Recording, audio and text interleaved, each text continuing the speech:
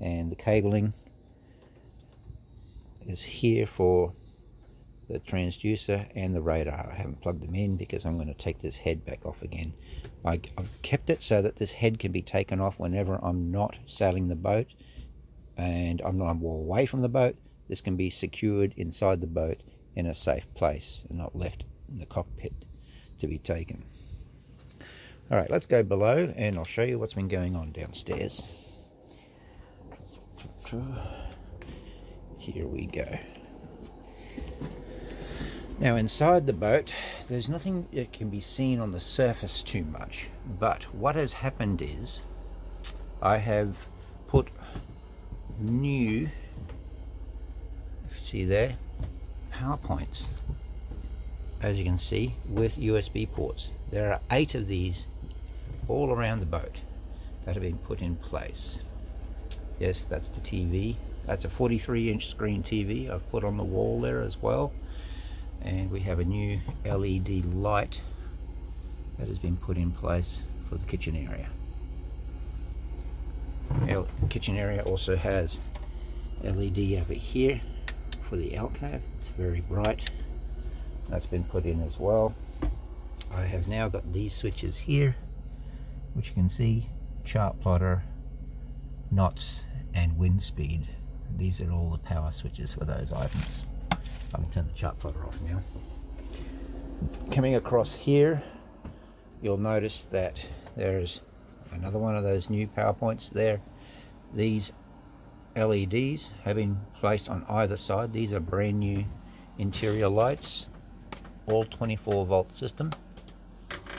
And if we go through into the V berth you'll note we have these new ones as well. There's a night light and then the full power and turn back off again. These are on both sides. So they're very nice. Now when it came to putting these new power points in I found that the entire starboard side of the boat the wiring system had to be replaced. All the wires deteriorated and fell apart and had to rewire through the entire boat. So that all of that was done. Now, this way we come across into the power board. I'm going to turn the light on here and we'll notice that all of the wording has been changed with new updated stickers using a uh, uh, anyway we've also got now we can see what we we're dealing with 12 and 24 volt system. Because some of the a couple of the items like the chart plotter will only run on 12 volts. So I had to keep some things on 12 and then modify other items to become 24 volt which has been done on the back board here. So the wiring looks a little bit messy. I haven't tied it off yet but you'll notice here this is your 12 volt system that I've set up. So that stays 12 volt and the rest of the items that have still got the original wiring in place are still 24 volt. I will be able to make it much neater and tidier like it looks on the 110 volt side which looks quite sweet. So that's going to be very close to being done so that's all been redone. Now over turn around into the engine room. While we're here, I can uh, show that the uh, we have here we have 24 volt fuse system set up here. The bilge pumps run through there and um, we've still got a lot of old wiring here that I haven't pulled out yet that's no longer uh, doing its job. But what we do over here on this board over this area is the 12 volt fuse panel plus a 12 a 20 a 24 to 12 volt inverter. It's a little 480 watt unit there. Runs about 45 amps at the maximum. What I also have above here is the that little silver and black item right there is the switch for the fuel pumps that have now been connected up and wired in. And there's also a relay there for the same system. So that's all been wired in as well. So that's all been done. The engine itself has been worked on. We now have got a brand new start battery there for cranking the engine that'll have, so that's all been wired into place the entire fuel system and the starting system is wired up through that battery there. It is separate to the house batteries, which are the AGMs under here, which run the house system. One goes down, I can uh, outfit it so it works off the other. So that's been done as well. Still a bit of work to be done, but we're making real progress. Now into the after berth area, we'll come through here and the after berth area now has got the same sort of lights as in the V-berth but a uh, yellow cone on it a little bit softer light and you'll notice you can have that on at night time just a little night light so you can find your way to the switch. Totally off. The other thing I did was I, you can't really see it but I'll show it to you. There's a cutout here in the bed. The reason being, I can now fully open the door without taking the board out and I can make my way into the aft head and the lights is now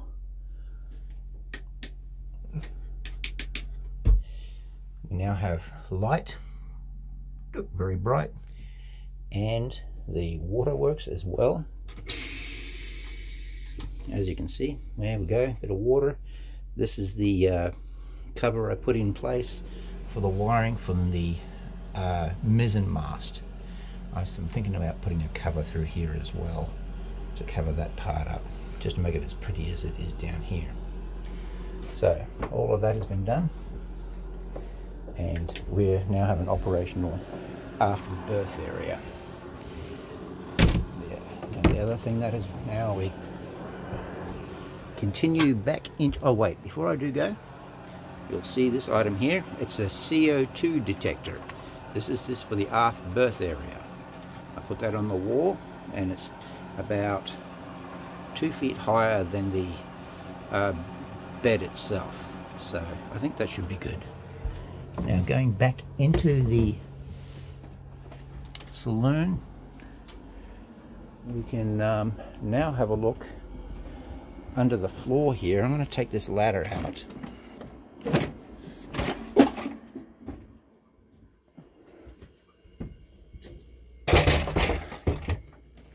The ladder there has been moved.